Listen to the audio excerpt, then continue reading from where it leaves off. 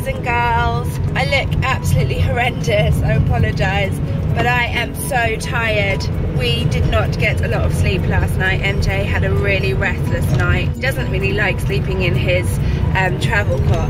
Luckily, we have the world's biggest bed, so in the end we just put him in with us. Please, God, we need sleep tonight because there is no way that Jay and I will function.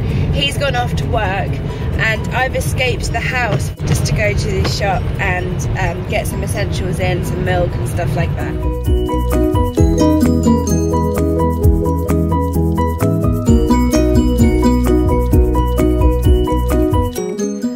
It's nearly tea time and not a lot has happened today. I'm still extremely tired. So is MJ, I'll show you MJ in a sec.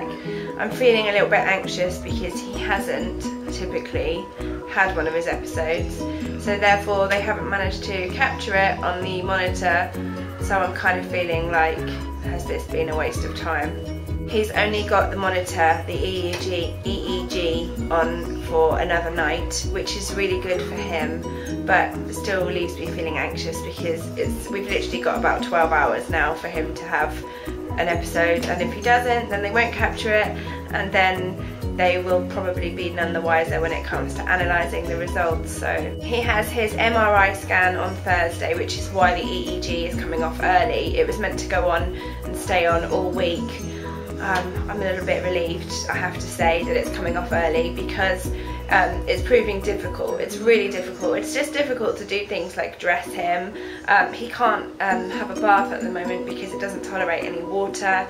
I've not been able to take him out because I'm just anxious that everybody will stare at him and I know that sounds silly but it's just added worry that I probably just don't need at the moment and um, it's not comfortable for him obviously and it's just a pain in the bum to be fair. Um, I'm finding it hard to do things like juggle the logistics of getting my other kids to school, to and from school and keeping the housework up to date and stuff like that.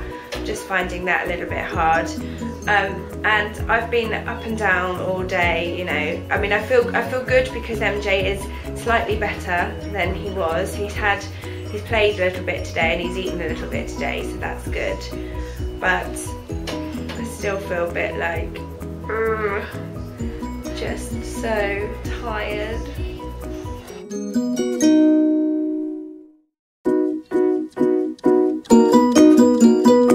Oh, you don't want to be filmed. Give it up for the easy crew. Look, you're like Rastamouse with your dreadlocks today. Are you hungry? Yummy, yummy, gonna have some dinner.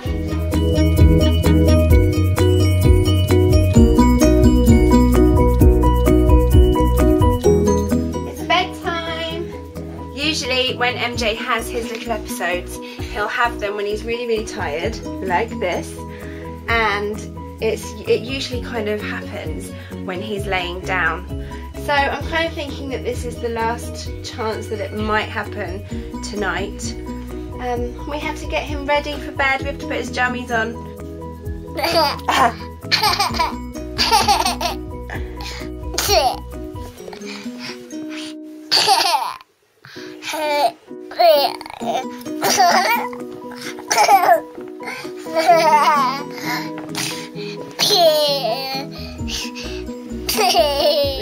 put on jammies that have buttons down the front. These are a little bit creased. They've literally just come out of a tumble dryer.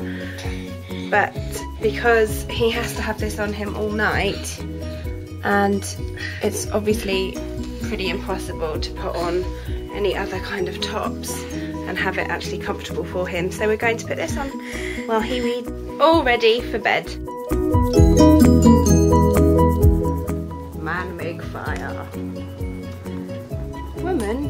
Pretty candles.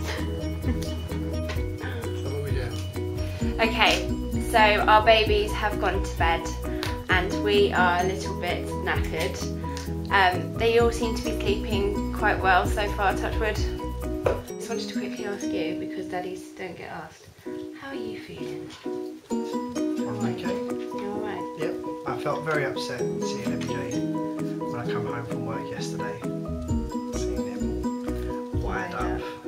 Something from the Matrix. But um, you know, he, we're getting everything done now that needs to be done, and hopefully we can find out if it is epilepsy. We're getting the medication, and we'll sort it out. Be fine. I'm good. Are you knackered? Yeah, I'm You didn't sleep much last night. Nah. Poor Jay wakes up at anything, so like even the littlest whimper, and he was like awake. Whereas I'm just like, that on camera. That's. Anyway, so we're gonna hit the sack soon. We're just gonna chill for a little while. Well, we're gonna hit the sack very soon, like little bit soon. Let's see. Right, we're just gonna chill. Nine o'clock at night. We're just gonna sit here and argue for a little while, and then um, I don't want to go to bed. oh, I'm not very, I'm not very tired. can't put this on my video because people won't understand. That's how our three-year-old Leonardo speaks. It's not very dark. Takes after his dad, gets it from his dad. I don't want to go to bed. Anyway, so thank you for watching today, and we will check in with you tomorrow when um, MJ finally gets his little um, monitors, wires, all that stuff off. So He he's going to look. He gets unplugged, yeah.